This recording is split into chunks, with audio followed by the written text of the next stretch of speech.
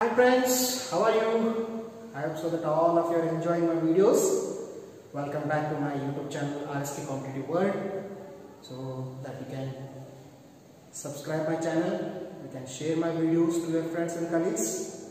So that it can helpful for me in a lot, a lot, a lot. Okay. So today we see another question from uh, GPSTR, that is Government Private School Teacher Recruitment 2017-18. The question was asked and it will be very helpful for the teachers who are preparing for the coming recruitment 2020-21st. ಅವರಿಗೆ ಮಾತ್ರ ಅಲ್ಲದೆ, ಇದು ಶಾಲಾ ಶಿಕ್ಷಕರ ನೇಮಕಾತಿ ಶಿಕ್ಷಕರಿಗೆ ಮಾತ್ರ ಅಲ್ಲದೆ ಆರರಿಂದ ಎಂಟನೇ ತರಗತಿಯ ವಿದ್ಯಾರ್ಥಿಗಳಿಗೂ ಕೂಡ ಇದು ಬಹಳಷ್ಟು ಉಪಯುಕ್ತವಾಗಿದೆ ಈ ಶ್ರೇಣಿಗಳ ಬಗ್ಗೆ ಹತ್ತನೇ ತರಗತಿಯಲ್ಲಿ ಕೊಟ್ಟಿದ್ದಾರೆ ಇನ್ ಇಂಗ್ಲಿಷ್ ವಿಕ್ಯಾನ್ಸರ್ ಸಮಾಂತರ ಶ್ರೇಣಿ ಬಗ್ಗೆ ಒಂದು ಪ್ರಶ್ನೆಯನ್ನು ಹುಟ್ಟಿದ್ದಾರೆ English ವಿಕ್ಯಾನ್ಸರ್ is arithmetic progression progression means Bedi so ಇಲ್ಲಿ ಕ್ವಶನ್ ಏನು ಕೊಟ್ಟಿದ್ದಾರೆ ಒಂದು ಸಮಾಂತರ ಶ್ರೇಣಿಯಲ್ಲಿ ಐದು ಪದಗಳಿವೆ. ಐದು ಪದ ಕೊನೆಯ ಪದವು ಅದಕ್ಕೆ ಅದಕ್ಕಿರುವಂಥ ಐದು ಪದಗಳೊಳಗೆ ಲಾಸ್ಟ್ ಏನೈತೆ ಲಾಸ್ಟ್ ಟರ್ಮ್ ಆ ಕೊನೆಯ ಪದವು ಮೊದಲ ಪದದ ನಾಲ್ಕರಷ್ಟಿದೆ. ಮೊದಲನೇ ಪದ ಎಷ್ಟೈತಲ್ಲ ಅದರ ನಾಲ್ಕು ಪಟ್ಟಿದೆ ಕೊನೆಯ ಪದ. ನಾಲ್ಕರಷ್ಟಿದೆ. ಆ ಶ್ರೇಣಿಯ ಮಧ್ಯದ ಪದ, ಅದೇನ? ಐದು ಪದ ಅದಾವಲ್ಲ ಆ ಐದು ಪದದೊಳಗೆ ಮಡ, ಮಿಡಲ್ ಟರ್ಮ್ ಅಂತ ಏನು ಕರಿತೀವಿ ಇಂಗ್ಲೀಷ್ ಒಳಗೆ? ಮಧ್ಯದ ಪದ ಇಪ್ಪತ್ತು ಆದರೆ, ಆ ಮಧ್ಯದ ಪದ ಇಪ್ಪತ್ತಾತಂದ್ರೆ ಆ ಶ್ರೇಣಿಯ ಪದಗಳನ್ನು ಕಂಡುಹಿಡಿಯಿರಿ. Means we arithmetic progression finally ಅಂದರೆ ಸಮಾಂತರ, ಆ ಶ್ರೇಣಿಯನ್ನು ನಾವು ಕಂಡುಹಿಡಬೇಕು. ಯಾವುದರೊಳಗೆ ಇರೋದು ಸಮಾಂತರ ಶ್ರೇಣಿ. ನಮ್ಗೆ ಮೂರು ಪ್ರಕಾರ ಶ್ರೇಣಿಗಳು ಗೊತ್ತಲ್ಲ ಸಮಾಂತರ ಶ್ರೇಣಿ, ಗುಣೋತ್ತರ ಶ್ರೇಣಿ ಮತ್ತು ಹರಾತ್ಮಕ ಶ್ರೇಣಿ. ಸೊ ಕ್ವಶನ್ ಅದರೊಳಗೆ ಐತಿದ್ದು ಸಮಾಂತರ ಶ್ರೇಣಿ ಸೊ ಹಂಗಾಗ ಇದಕ್ಕೆ ಸೊಲ್ಯೂಷನ್ ಏನು ಏನು ಸೊಲ್ಯೂಷನ್ ಇದಕ್ಕೆ ಅಂತಂದ್ರೆ ಏನು ಬರೀಬೇಕು ಒಂದು ಸಮಾಂತರ ಶ್ರೇಣಿಯಲ್ಲಿ ಐದು ಪದಗಳು. ಹಂಗಾರೆ ಯಾವ ಪದಗಳು ಅವ್ರು ಬರೀಬೇಕು ಮೊದಲನೇ ಪದ ಏನಿರ್ತೈತೆ ನೀವು?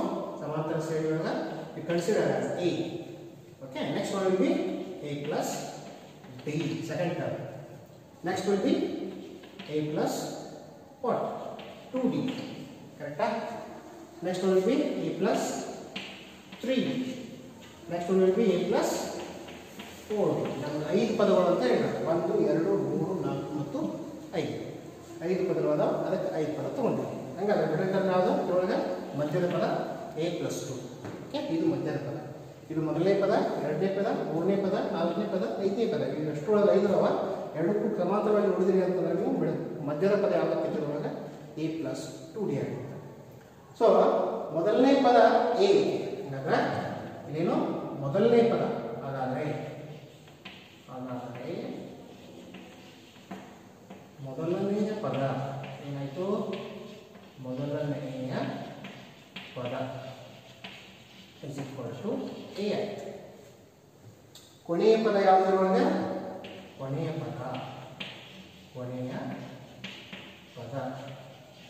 ಏನೈತಿ?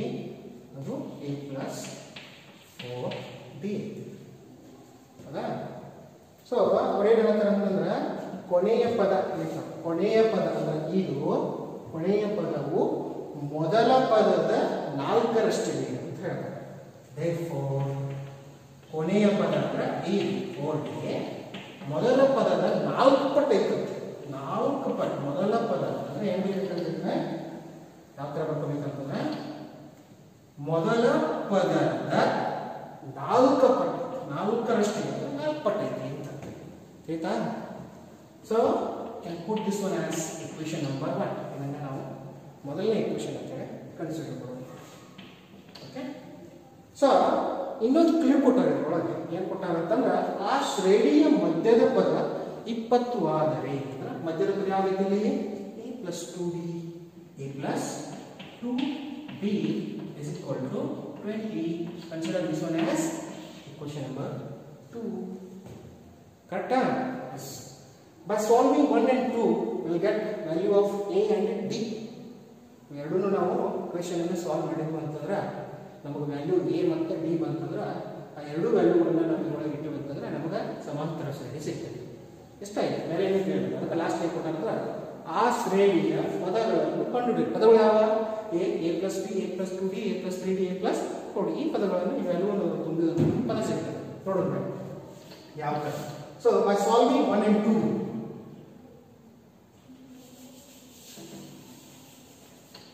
by solving equation 1 and 2 we get ಸಿಗ್ತೈತಿ ನಮಗೆ I will consider the equation number 1 that a plus 4d is equal to 4a correct? So, a is the a and 4a same term. ನಮಗೆ ಎರಡೂದ್ರೊಳಗೆ ಬೀಜೋಕ್ತಿಗಳು ಎಲ್ಲೈತದ ಎರಡು ಒಂದು ಸೇಮ್ ಅದಾವ. ಅದಕ್ಕೆ ನಾವು so ಜಾತಿ ಬೀಜಾಕ್ಷರಗಳನ್ನು ಒಂದು ಕಡೆ ಸೇರಿಸೋಣ. Four D is equal to four A plus A ಕಡೆ ಟ್ರಾನ್ಸ್ಫರ್ ಮಾಡಿದ್ರೆ ರೈಟ್ ಸೈಡ್ ಏನಾಗುತ್ತೆ ಮೈನಸ್ ಇದೆ four D is equal to three A so ಇಲ್ಲಿ ನಾವು four D is equal to three A then keep this d is equal to 3a by 4 d is equal to 3 by 4 ಹೌದಾ d ಗೆ multiply ಐತಿ 4 ಅದನ್ನು transfer ಮಾಡಿದ್ರೆ ಅಂತಂದ್ರೆ divide ಆಗುತ್ತೆ okay right side so ಈಗ ಏನು ಮಾಡ್ಬೇಕಂತಂದ್ರೆ can put this D value in the equation number one or can equation number two ಈ ಇಕ್ವೇಶನ್ ನಂಬರ್ ಒನ್ ಅಥವಾ ಟೂ ಒಳಗೆ ಯಾವುದೋ ಬೆಟ್ಟದ ಒಳಗೆ ಇಟ್ಟರು ಕೂಡ ನಮಗೆ ಯಾವುದಾದ್ರೂ ಒಂದು ವ್ಯಾಲ್ಯೂ ಬರ್ತದೆ ಈ ವ್ಯಾಲ್ಯೂ ಸಿಗ್ತದೆ so ಮಾಡ್ಬಿಡೋಣ okay up to that you can write this you can copy it okay hope that your copying is all very important at the point of examination for that 10th standard students also and at the same time it is very helpful for the teachers recruitment 2020-21st okay yes I will grab this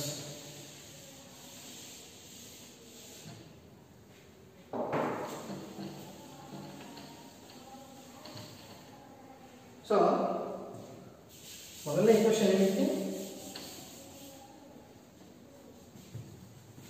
A plus four D 4a. Okay? So, we go for second equation. That is a plus 2b is equal to 4, uh, sorry, is equal to 20. Equation number 2. Put the value of this equation number 2. Put the value of put the value of that is d is equal to 3a by 4 in equation number 2. We get, we get, what do we get?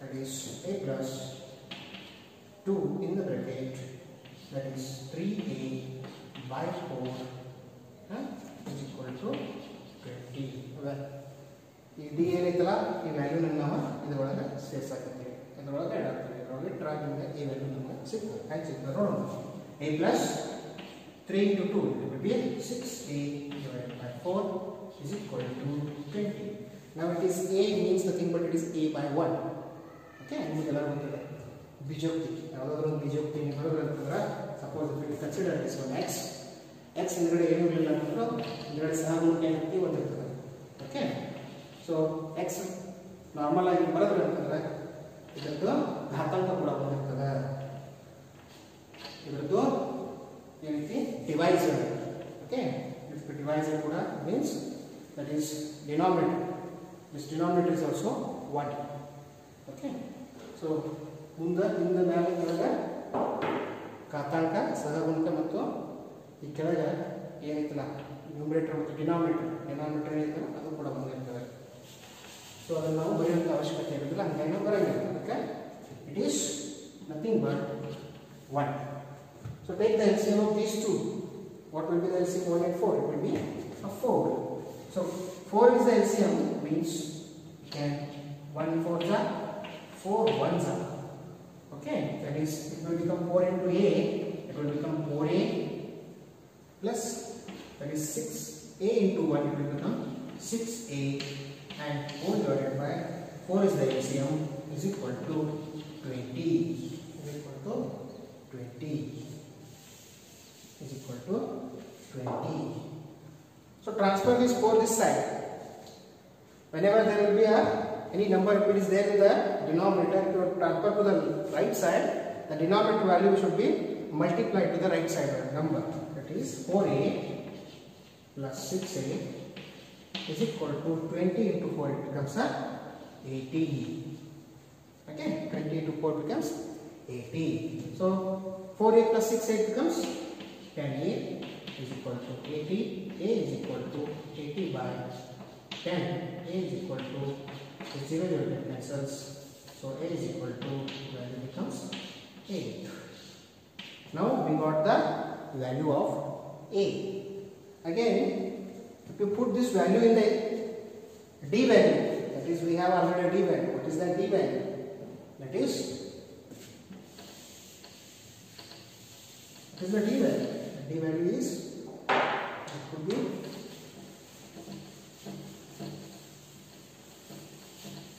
that uh, d value is d is equal to that is 3a by 4 3a by 4 put that value here. A value already we got. 3 into 8 divided by 4 so 4 ones are 4 twos are so a is equal to 3 twos are 6 so here a is the first term d is nothing but it is a common difference in Kannada ನಮಗೆ a ಅಂದ್ರೆ ಮೊದಲನೇ ಪದ ಮೊದಲನೇ ಪದ D ಅಂತಂದ್ರೆ ಸಾಮಾನ್ಯ ವ್ಯತ್ಯಾಸ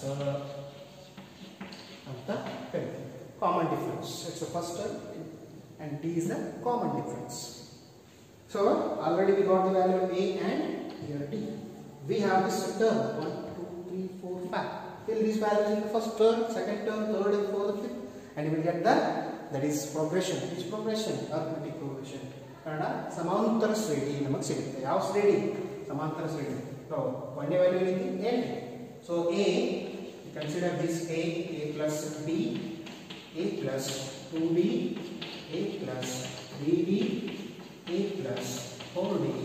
Consider beta की value 2B दे दी We हमने पता ही किया है तो A table आ गया A2 A plus B आ 8 plus 6 it becomes 14. Okay, second one 8 8 plus 2 into 6 are 100 100 plus 8 to ಇಪ್ಪತ್ತು. ಸೊ ಅವರನ್ನು ಮೊದಲು ಕೊಟ್ಟ ಕ್ವಶನ್ ಆ ಶ್ರೇಣಿಯ ಮಧ್ಯದ ಪದ ಇಪ್ಪತ್ತು. ಇಪ್ಪತ್ತು ಬಂದ okay okay twenty A plus three D ಎಂಟು ಪ್ಲಸ್ ಆರು ಹದಿನೆಂಟು ಹದಿನೆಂಟು ಪ್ಲಸ್ ಎಂಟು, ಇಪ್ಪತ್ತ. ಆರು twenty six okay next A plus four D so ಎಂಟು ಪ್ಲಸ್ ನಾಲ್ಕು, ಇಪ್ಪತ್ನಾಲ್ಕು ಇಪ್ಪತ್ನಾಲ್ಕು ಪ್ಲಸ್ ಎಂಟು ಮೂವತ್ತ ಎರಡು ಮೂವತ್ತ ಎರಡು ಚೆಕ್ ಮಾಡಬೇಕು ಸಮಾಂತರ ಶ್ರೇಣಿ ಒಳಗೆ ಈ ಶ್ರೇಣಿ ಸಮಾಂತರ ಶ್ರೇಣಿ ಸಂಬಂಧಪಟ್ಟದ್ದು ಇರೋ ಅಂತೇಳಿ ಚೆಕ್ ಕೂಡ ಮಾಡ್ಬೋದು ಕಾಮನ್ ಡಿಫ್ರೆನ್ಸ್ ನಿಮ್ಗೆ ಆರು ಮಾಡ್ಕೊಂಡು ಹೋಗ್ಬೇಕು ಸೊ ಕ್ಯಾನ್ ಚೆಕ್ ಇದೆ fourteen minus eight six twenty minus fourteen six twenty six minus twenty six 32 minus 26 again it is a 6 means nothing but it is in a arithmetic progression that is nothing but in Kannada ಸಮಾಂತರ ಶ್ರೇಣಿಯಲ್ಲಿ ಈ ಕೊಟ್ಟಂಥ ಪದ ಸಮಾಂತರ ಶ್ರೇಣಿಗೆ ಸಂಬಂಧಪಟ್ಟದ್ದು ಮತ್ತು ಅದರೊಳಗೆ ಅಂತ ಗೊತ್ತಾಗ್ತದೆ ನನಗೆ ಅನ್ಸಾಗತ್ತೆ ನಿಮ್ಗೆ ಎಲ್ಲರಿಗೂ ಬಹಳ ಅರ್ಥ ಆಗತ್ತೆ ಮತ್ತು ನಿಮ್ಗೆ ಬಹಳ ಉಪಯೋಗ ಆಗುವಂಥ ಇದು ಲೆಸನ್ಗಳನ್ನು ಕೊಡ್ತಾ ಇರುತ್ತೆ ಅಂತ ಖಂಡಿತವಾಗಿ ಇದು ನಿಮಗೆ ಉಪಯೋಗ ಆಗಿತ್ತಾ ಅಂದ್ರೆ ನನಗೆ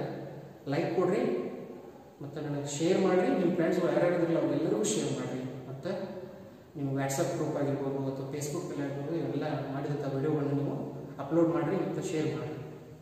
ಮತ್ತು ಅವ್ರಿಗೆ ಹೇಳಿ, ಮತ್ತು ಅವ್ರ ಫ್ರೆಂಡ್ಸ್ಗಳು ಯಾರು ಹೇಳಿದ್ರು ಕೂಡ ಅವ್ರಿಗೆ ಶೇರ್ ಮಾಡಲಿಕ್ಕೆ ಹೇಳ್ರಿ. ಇದರಿಂದ ಬಹಳಷ್ಟು ಹೆಲ್ಪ್ ಆಗ್ತದೆ ಮುಂದಿನ ಬರುವಂಥ ಎಲ್ಲ ವಿಡಿಯೋಗಳಲ್ಲಿ ಇನ್ನೂ ಅತ್ಯಂತ ಉಪಯೋಗಕಾರಿಯಾದಂಥ ಮಾಹಿತಿ ಅಂದರೆ ಈ ಶಾಲಾ ಶಿಕ್ಷಕರ ನೇಮಕಾತಿ ಸಂಬಂಧಪಟ್ಟಂತೆ ಎಲ್ಲ ಗಣಿತ ಗಣಿತ ಮತ್ತು ವಿಜ್ಞಾನಕ್ಕೆ ಸಂಬಂಧಪಟ್ಟಂತೆ ಎಲ್ಲ ಕ್ವಶನ್ಗಳನ್ನು ತೆಗೆದುಕೊಂಡು ಬರ್ತಾ ಇದ್ದೀನಿ.